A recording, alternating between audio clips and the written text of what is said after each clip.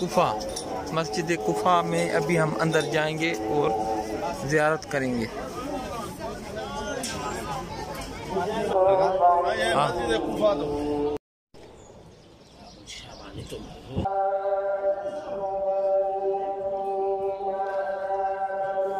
ये है सामने मेन दरवाज़ा मस्जिद कुफ़ा में अंदर जाने के लिए। अभी जो है हम जी मस्जिद कुफ़ा में अंदर आ चुके हैं।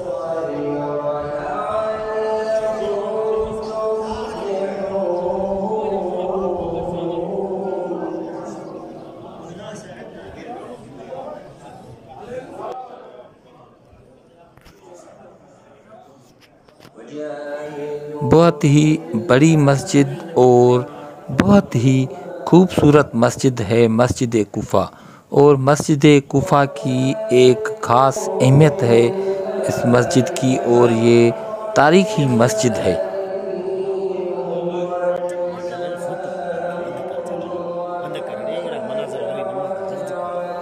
इस मस्जिद में बहुत से अम्बिया कराम के मुकाम है और दोस्तों सबसे बढ़कर ये कि इस मस्जिद में हमारे प्यारे नबी हज़रत मोहम्मद मुस्तफ़ा सल्लल्लाहु अलैहि वसल्लम का मुकाम भी मौजूद है।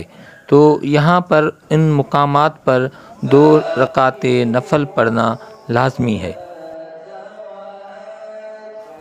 और दोस्तों, आपको बताता चलूँ कि ये सामने जो आप सब गुम्बस देख रहे हैं, ये रोज़ा है हानी इब्ने उर्वा का।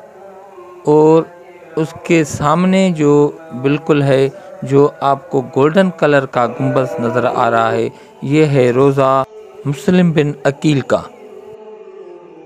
दोस्तों, मस्जिद कोफा की तारीख बहुत पुरानी है और इस मस्जिद के सहन के अंदर हज़रत नूह सलाम का घर था और तंदूर था और उसी तंदूर से पानी निकला था और पूरी दुनिया में फैल गया था। इस मस्जिद में मुकाम अम्बिया कराम है और हर मुकाम पर दो रकात नफल पढ़ना लाजमी है। और दोस्तों, ये मस्जिद बहुत ही खूबसूरत है और ये सामने जो आप देख रहे हैं, इसमें ठंडा पानी होता है, जो ज़ायरीन आए तो ये सहन में लगे हुए हैं। पानी पीने के लिए ये इसमें ठंडा पानी होता है।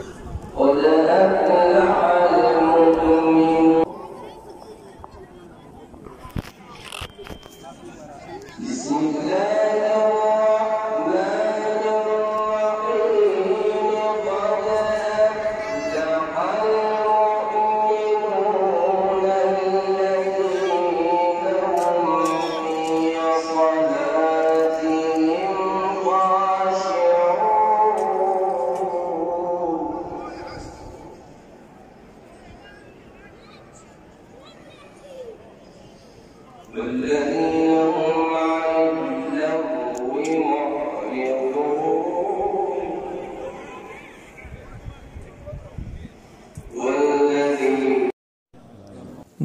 ये है मुकाम हमारे प्यारे नबी हज़रत मोहम्मद अलैहि वसल्लम का।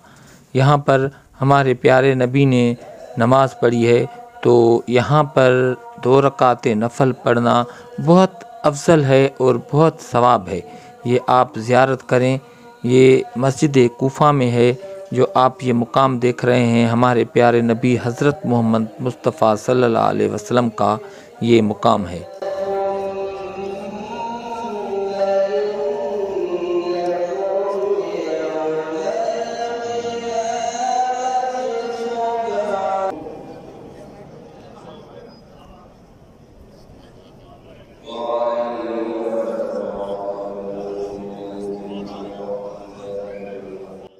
ये जो आप ज़्यारत कर रहे हैं, ये है मुकाम नबी आदम सलाम का ये मुकाम है जिसकी आप ज़्यारत कर रहे हैं। ये मुकाम मस्जिद कोफा में है और मस्जिद कोफा इराक़ में है।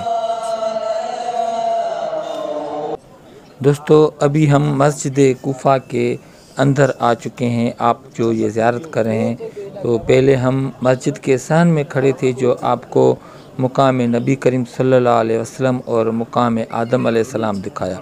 अभी हम मस्जिद में अंदर आ चुके हैं और ये मस्जिद का अंदर का जो पोर्शन है, आप उसकी ज़्यारत कर रहे हैं। बहुत ही खूबसूरत, बहुत ही प्यारी और बहुत ही बड़ी मस्जिद है ये। और दोस्तों, ये है मस्जिद का मेराब, जहाँ मौला अली सलाम नमाज़ पढ़ाया करते थे और मौला अली सलाम को इसी मस्जिद में ज़रब लगी थी।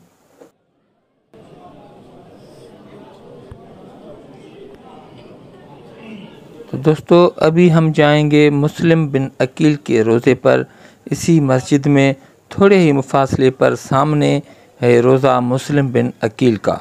और थोड़ा आपको मुस्लिम बिन अकील के बारे में बताता चलूँ तो मुस्लिम बिन अकील वो सहाबी हैं जो कोफे के अंदर इमाम हुसैन अलैहिस्सलाम के सफ़ीर बनकर आए थे और इब्ने ज़ियाद मलऊन ने उन्हें शहीद कर दिया था। दोस्तों, ये इमाम हुसैन अलैहिस्सलाम के चचाजाद भाई भी हैं। दोस्तों, मुस्लिम बिन अकील को कोफे के अंदर तन्हा कर दिया गया था। दोस्तों, मुस्लिम बिन अकील के जिस्म को छत से गिराया गया था और शहीद कर दिया गया था।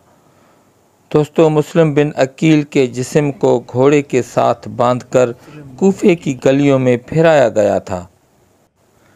दोस्तों, मुस्लिम बिन अकील को शहीद करने की वजह ये थी कि ये इमाम हुसैन अलैहिस्सलाम के सफ़ीर थे। अस्सलाम अलैकुम, मुस्लिम बिन अकील। तो ये है रोज़ा मुस्लिम बिन अकील का, जिसकी आप ज़ियारत कर रहे हैं।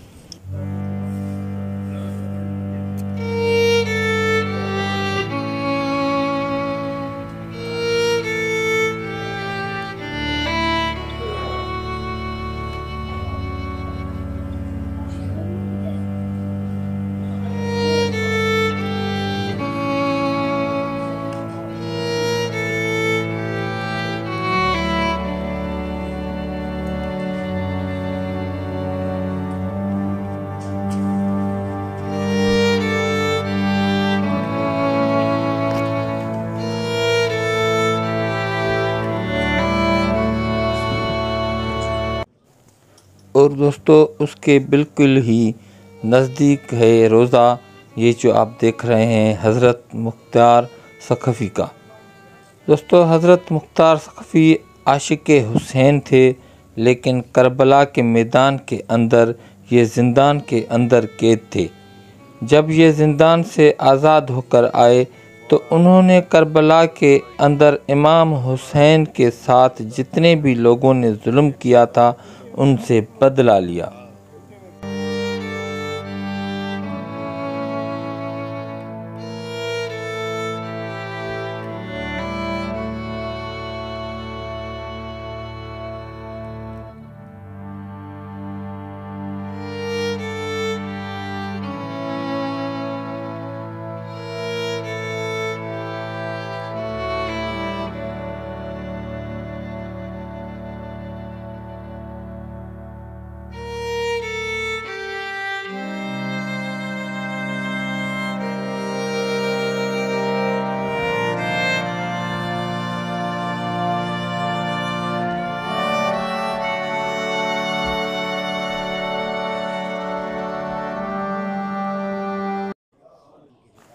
दोस्तों, मुस्लिम बिन अकील के सामने ही बिल्कुल रोज़ा है हज़रत हानी इबन अरवा दोस्तों, ये हानी इबन अरवा का रोज़ा है जिसने मुस्लिम बिन अकील को कोफे के अंदर रहश दी थी और अपने घर में उनकी मेहमान नवाजी की थी, क्योंकि ये मोहम्मद व आल मोहम्मद के ग़ुलाम थे और उनको मोहम्मद व आल मोहम्मद का ग़ुलाम होने की वजह से शहीद किया गया।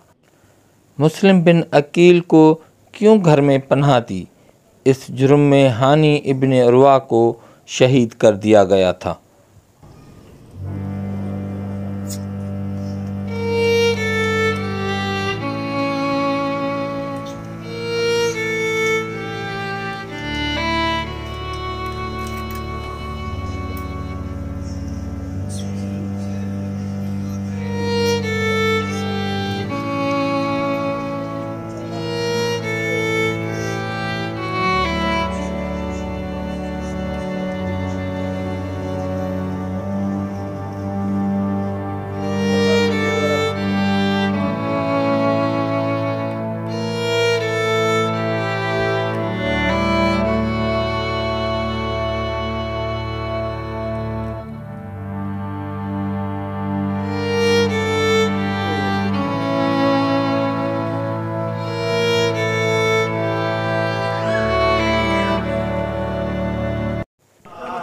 दोस्तों, अभी हम उस मुकाम पर जाएँगे जहाँ पर मौला अली फैसले किया करते थे और खुतबा दिया करते थे।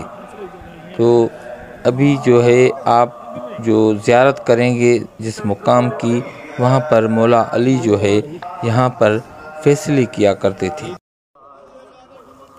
दोस्तों, अभी हम मस्जिद से बाहर आए हैं और ये जो बाहर है, आप एक स्क्रीन देख रहे हैं जिस पर जो है ज़्यारत चलती रहती है और सामने ही कुछ मुफासले पर है, मौला अली अलैहिस्सलाम का घर मुबारक। अभी हम वहाँ जाएँगे और आपको घर मुबारक की ज़्यारत इन करवाएँगे। ये सामने ही बस थोड़ी कुछ मुफासले पर है, अभी हम उस तरफ़ जाएँगे। अस्सलाम अलैकुम या अमीरुल मोमिनीन। तो दोस्तों, ये सामने है मौला अली अलैहिस्सलाम का घर मुबारक और आप ये घर का सामने ये दरवाज़ा देख रहे हैं। अभी हम अंदर जाएँगे और घर मुबारक की आपको इन जो है ज़्यारत कराएँगे। ये है मेरे मौला अली का घर मुबारक की आप ज़्यारत कर रहे हैं और ये सामने है उस घर का दरवाज़ा।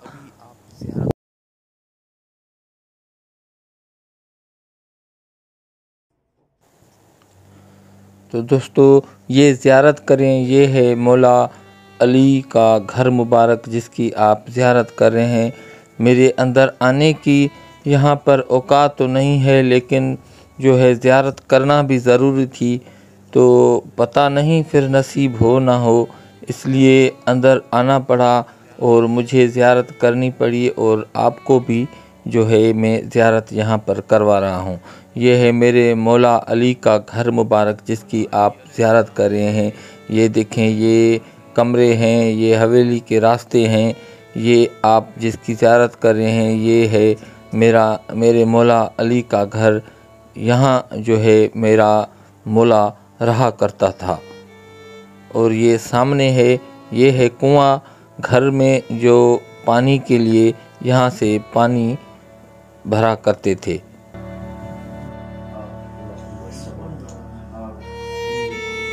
ये कुआँ मुबारक अली सलाम के घर में जो है, ये कुआँ था।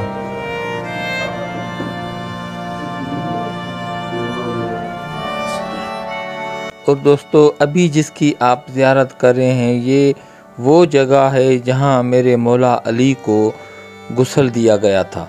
ये आप जिस जगह की ज़्यारत कर रहे हैं, ये है वो जगह जहाँ पर मेरे मौला अली को घर में गुसल दिया गया था ये आप उस जगह की ज़्यारत कर रहे हैं।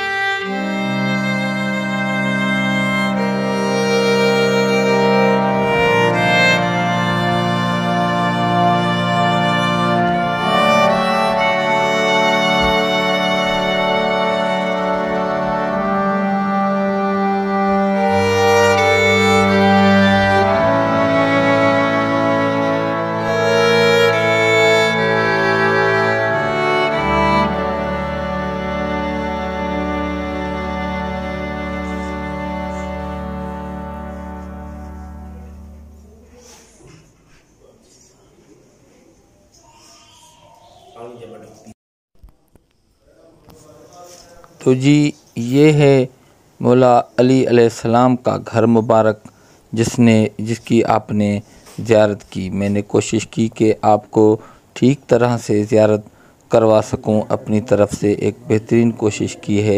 ये यहाँ पर अभी जो है बुक्स कुछ रखे गए हैं। ये जो है दूसरी तरफ़ से घर मुबारक है। मैं पूरी कोशिश कर रहा हूँ कि आपको जो है सारी जो ज़्यारत है वो ठीक तरीके से आप करवा सकूँ ताकि आप जो है सवाब हासिल कर सकें। बस मेरी हौसला अफजाई के लिए मेरे इस चैनल को प्लीज़ सब्सक्राइब करें और बेल आइकान को प्रेस करें ताकि आपको ऐसी वीडियो की नोटिफिकेशन हमेशा बर वक्त मिलती रहे।